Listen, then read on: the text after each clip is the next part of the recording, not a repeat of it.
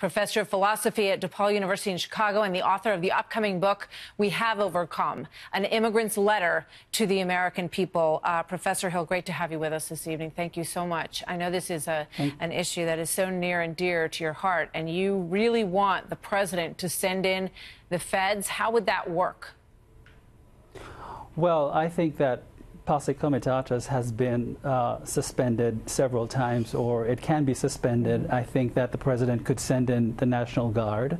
I think that the um, the Navy or the Marines could be sent in. I think on, in 1957, President Eisenhower sent in the uh, the National Guard to protect um, school integration. In 1992, President uh, George G. W. Bush um, did it um, to protect the city of Los Angeles uh, on the heels of the verdict of the Rodney King riot. And in 2006, I think President George George Bush uh, did it to send uh, troops to the uh, Mexican border. So I think the president has several options at his disposal yeah. that he could work very closely with with local government here in Chicago. What about Rahm Emanuel? The mayor is up for re-election in the fall. Garry McCarthy, who used to be the chief of police there, is running against him. And I know that the police have been protesting against the current mayor. Is he part of the problem or part of the solution?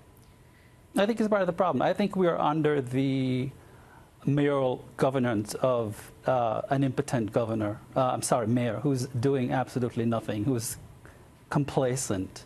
And I think that sort of complacency is symptomatic of what is going on. I think that we have police who are unable to systemically and systematically fight yeah.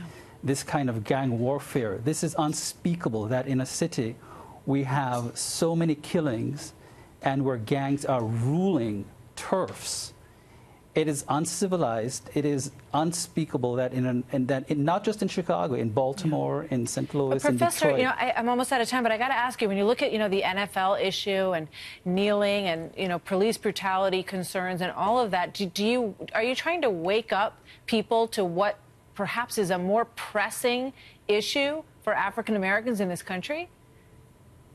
Well, there's a systematic absence of law and order that's running amok in this country, a kind of thuggish ferality that's running amok in this country. And uh, the, the, the, rule of the law has got to take form.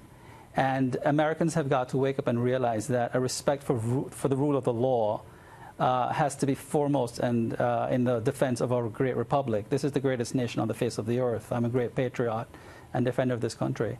And we need to start having a conversation um, that I think the far left um, is, is not willing to have. And I, I, think that the rule of law and, and, and law and order has got to take precedence. Well, Professor, I, I commend you on this editorial, and I hope you'll come back and talk to us more. Thank you. Thank you very much.